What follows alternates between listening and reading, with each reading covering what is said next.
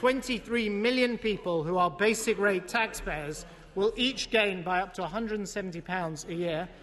880,000 of the lowest income taxpayers will be taken out of tax altogether. Yeah.